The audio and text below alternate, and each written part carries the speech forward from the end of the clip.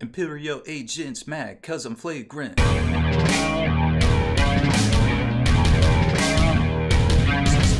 Spikey Bits.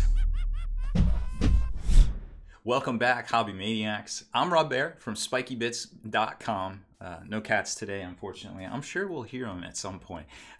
uh, we have a special treat for you today. Artel W sent us over a big uh, care package a while back, and we're just getting to the last of the miniatures to kind of show you all. Now, they're not exactly the most newest releases, but they are still some pretty cool sculpts that I think was definitely worth sharing with you all. This is kind of the uh, the Imperial agents. You can use them uh, in kind of fantasy type games, or of course, uh, imperialistic um, characters in Warhammer 40k. Now they have a whole section over on their site for these guys for 28 millimeter figures.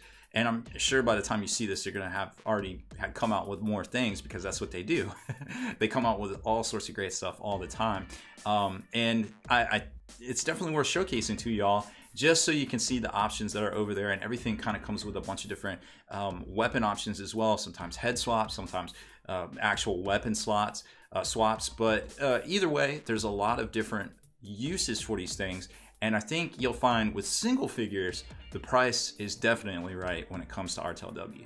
So to check it out for yourself, it's just artelw.com where you can type in Artel uh, W miniatures or Artel miniatures into your browser. Now they did have some offerings of uh, free 3D printed miniatures that you can get as a download and print out at your home printers if you want. That may also come up when you do a Google search, but either way, uh, lots and lots of possibilities here. So once you get to the site, you can kind of scroll down and check out the different categories. We've showed you some of this stuff in the past. There are 32 millimeter scale stuff. It's kind of picking up steam. That's the Primaris size. Um, so you'll see a lot more in there as uh, the days and weeks and years kind of progress. But 28 millimeter scale is probably what we'll show you the most of here on this channel. We showed you some of the 54 millimeter stuff in the past. We showed you some upgrade bits in the past. I haven't done much with the paints and things, but um, and then they have the their features down here, which is kind of in a lot of cases their most recent stuff.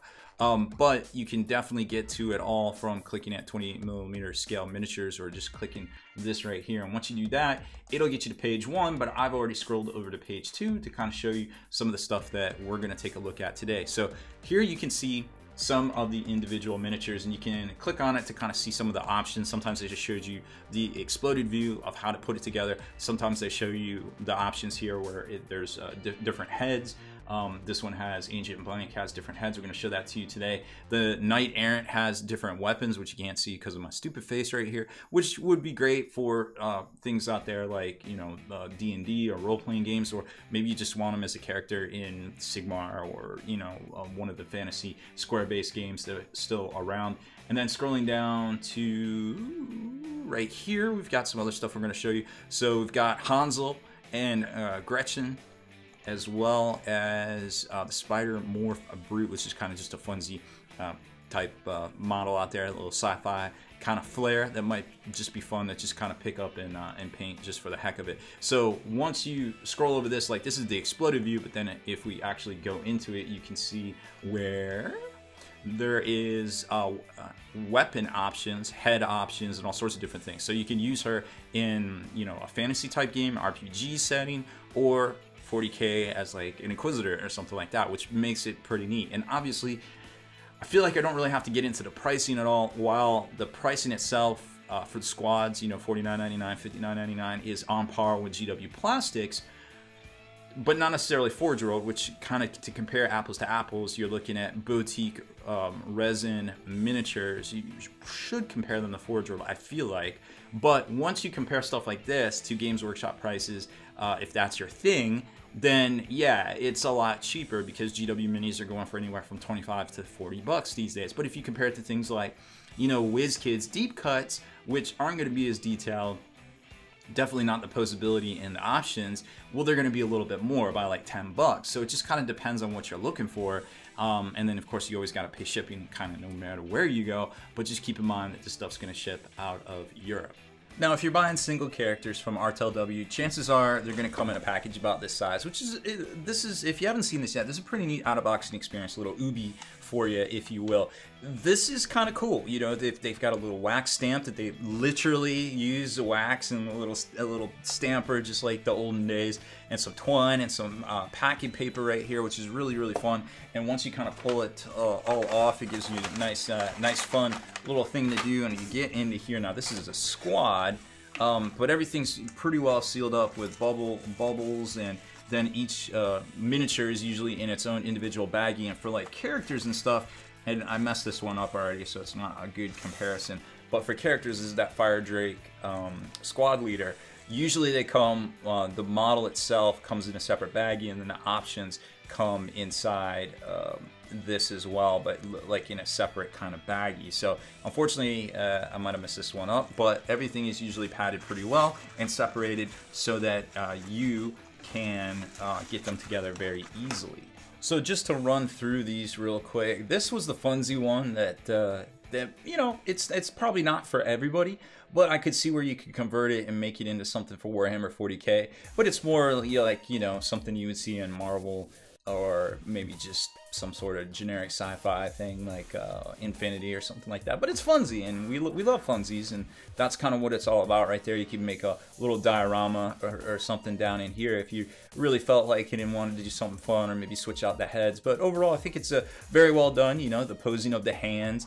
Uh, in relation to uh, the tentacles, the Doc Ock tentacles right there, and then the action of uh, crushing down the little, uh, what is that, sluice pipes or uh, rain pipes right there. And you know, all the details really well done. They segmented the uh, the tentacles right here and then did some um, little ribbing up on that, and then they got these little lasers or something. I don't know. What, I don't know what those things are, but the, you know, like I said, it all flows together very well. And of course, it's kind of like a spider, so it's got or maybe an arachnid of some sort. So some extra eyes right there would definitely do it justice. And pew pew lasers on the snip snips as well. I, I kind of dig it. Like there's something about it. I def I definitely dig it. And then, you know, we showed you this one earlier right there and you can definitely see it's very nice crisp detail on all the uh, Pur Puritan flames and then instead of just phoning in the cape they did a nice little kind of uh, I don't know what this is but I imagine there's some sort of ribbing in there and a little um, what are the skulls wow those are skulls you can barely see them but there are definitely skulls on the on the very end uh, right there and then there's like a Warhammer type deal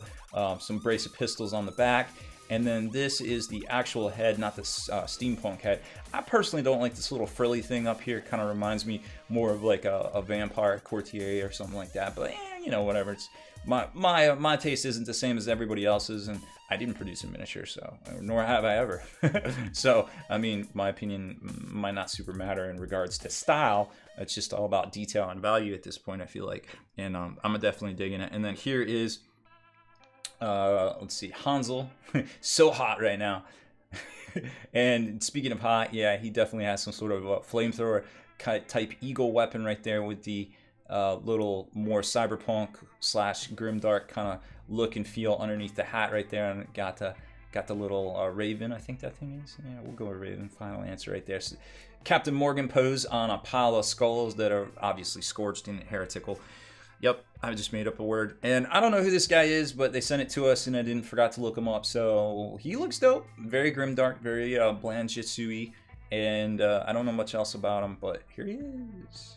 Like I said, I think we showed this, this one to you before.